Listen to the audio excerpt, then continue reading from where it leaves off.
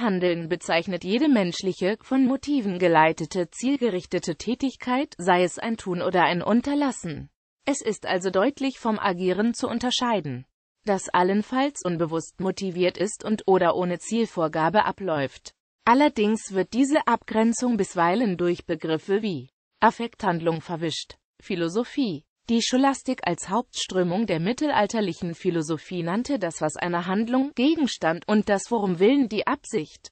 Eine Handlung. Zum Beispiel lügt jemand, um sich a. einen Vorteil zu verschaffen oder b. einen Juden vor der Gestapo versteckt zu halten.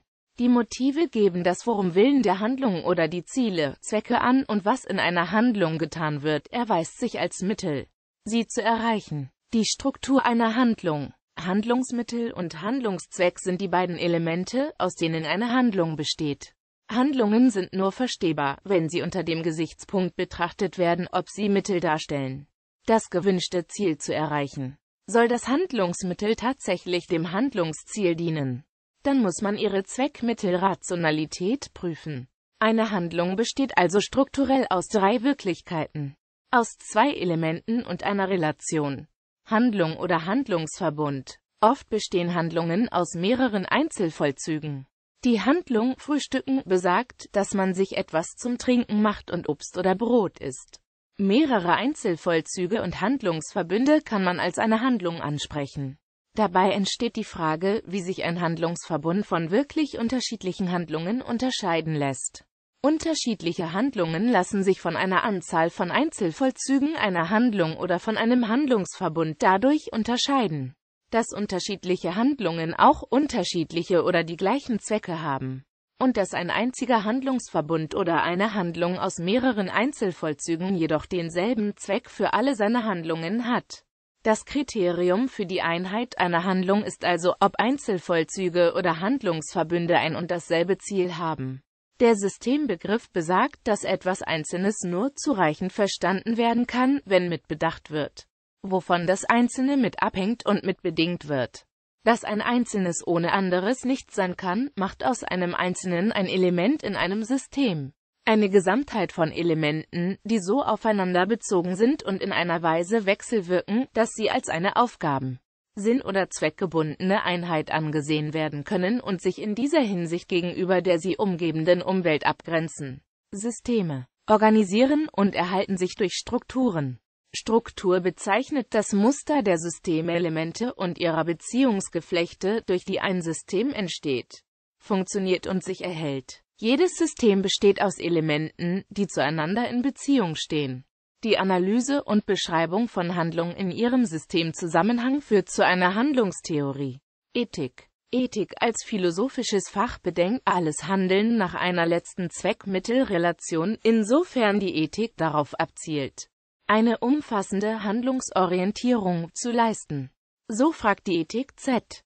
B. ob und unter welchen Bedingungen Kriege vernünftig sind und welche Arten von Kriegsführung moralisch unerlaubt sind. Dabei reflektiert sie drei Handlungsstrukturelemente.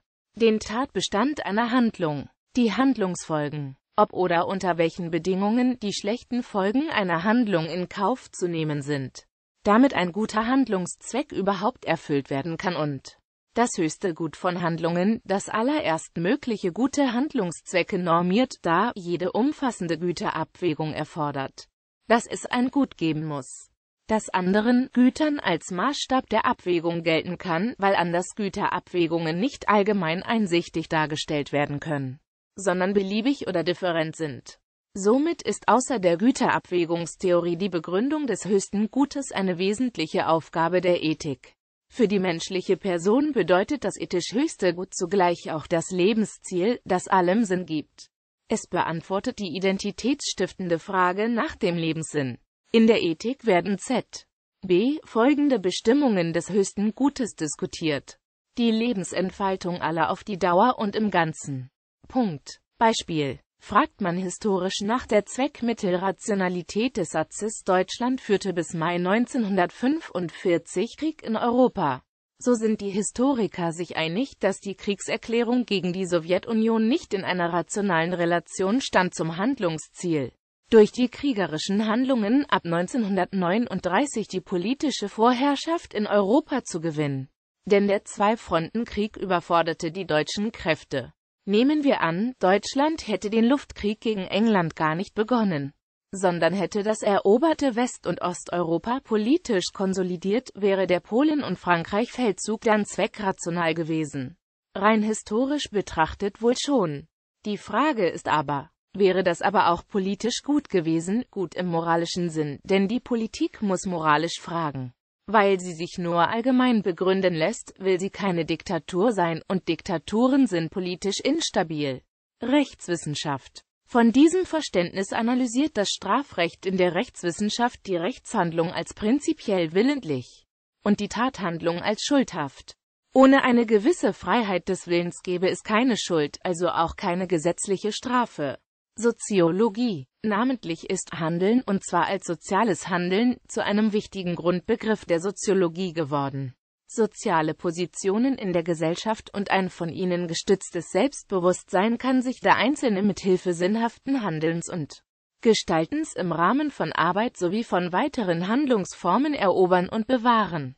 Zum Beispiel lassen sich die häufigen Handlungsschwächen von Langzeitarbeitslosen auch als Entzug der Zugänge zu sozialen Positionen krafteigenen Handelns erklären, die ihnen soziale Anerkennung und Identität vermitteln könnten. Psychologie Über viele Jahre wurde Handeln in der Psychologie nur am Rande diskutiert. Handeln ist motiviert und daher zielgerichtet. Handeln strebt die Befriedigung eines Bedürfnisses oder die Vermeidung eines Schadens an. Mit der Einbeziehung der Motivation thematisiert die Handlungstheorie die größer als größer als inneren kleiner als kleiner als Prozesse, die zwischen der Wahrnehmung der Umgebung, der aktuellen Motivlage und dem Tun vermitteln. Dietrich Dörner erstellte ein Modell, welches Handeln in verschiedene Stationen unterteilte. Dabei ist es nicht wichtig, dass diese Stufen linear abgearbeitet werden. Absichtsauswahl, Ziele Liberation, Informationssammlung und Hypothesenbildung. Prognose, Plan, Entscheidung und kontrolliertes Tun. Handeln gehört auch zum Kerngebiet der Motivationspsychologie. Zielbasierte Motivationspsychologische Theorien gehen davon aus, dass Menschen sich Ziele setzen, nach denen sie ihr Handeln ausrichten. Ob ein Ziel gesetzt wird, hängt davon ab, inwieweit es als wünschbar und durchführbar erlebt wird bzw. mit einer Strategie oder einem Lebensplan vereinbar ist.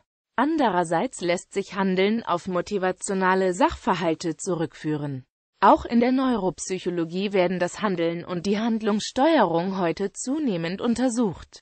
Dabei spielen dort vor allem das Konzept der exekutiven Funktionen und der Selbstregulation sowie das Aufdecken der neurobiologischen Korrelate dieser Funktionen eine sehr wichtige Rolle. Handeln ist im Sinne der neueren Psychologie bzw. Pädagogik vor allem ein Instrument der Sozialisation. Als Interaktion gewinnt der Sachverhalt seine sozialisatorische Bedeutung. Indem der Mensch in sozialen Gefügen handelt, erwirbt er Wissen. Lernt er, sich in ähnlichen Situationen zu verhalten. Gewinnt er gestalterische Kompetenzen, die ihm Einfluss auf seine soziale und materielle Umwelt ermöglichen. Eine Existenzsicherung stellt das Handeln als Interaktion zwischen Kind und Bezugspersonen in der frühen Kindheit dar. Kinder ohne diese oder ausreichende Interaktionsmöglichkeiten haben bedeutende Persönlichkeitsstörungen, die von langer Dauer sind und nicht immer therapiert werden können. Menschen ohne sozial relevante Handlungsmöglichkeiten geraten in große psychische Bedrängnis, erachten sich als wertlos und fühlen sich an den Rand ihrer Existenz gedrängt. Handlungstäuschung beschreibt in der Psychologie eine intentional irreführende Handlung anderer Personen. Aus der Wahrnehmung dieser Täuschung resultiert eine Reaktion auf die erwartete Handlung, die jedoch nur angetäuscht wird und nicht der Intention des Täuschenden entspricht. Durch höhere motorische Handlungserfahrung kann eine Verbesserung im Erkennen von Täuschungen erzielt werden. Beispielsweise können regelmäßige Basketballspieler besser angetäuschte Aktionen des Gegenspielers wahrnehmen. Pädagogik In der Pädagogik geht es insbesondere um das Handeln des Erziehenden, das grundsätzlich daran orientiert sein sollte, das Kind, den Jugendlichen zu fördern. Förderung ist ein Komplex unterschiedlicher und methodisch durchdachter Handlungen, die der Entwicklung des Kindes bzw. seiner möglichst effektiven Sozialisation dienen. In der Pädagogik gibt es verschiedene Systeme, die Handlungen beschreiben, die man als effektiv bzw wenig effektiv im Sinne der Sozialisation des Kindes Jugendlichen bezeichnen könnte. Die Diskussion über Erziehungsstile ist z.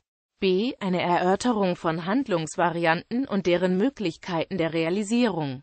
Ähnlich ist es mit der Darstellung von sinnvollen und weniger sinnvollen Maßnahmen der Erziehung in unterschiedlichen Situationen. Handlungen des Erziehenden werden meist in Beziehung gesetzt zu den Erziehungsinstitutionen, in denen sie realisiert werden. Erziehungshandeln in der Familie, in der Vorschulerziehung, in der Schule, in der Ausbildung USW.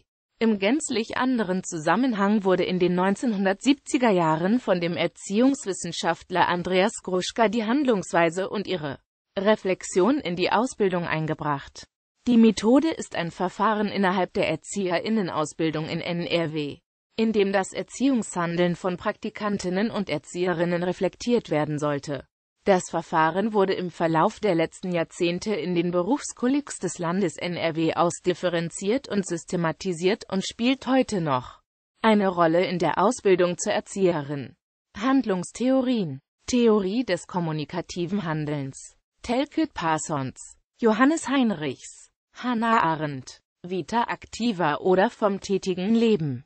Siehe auch. Anaklitische Depression. Kommunikation Konfliktmanagement, Kunst, Muße, Rubicon-Modell der Handlungsphasen, Sprache, symbolischer Interaktionismus, Hari-Halo-Interaktion bei Rhesusaffen unter bestimmten experimentellen Bedingungen. René A. Spitz Psychologische Hintergründe des Interaktionismus in der frühen Kindheit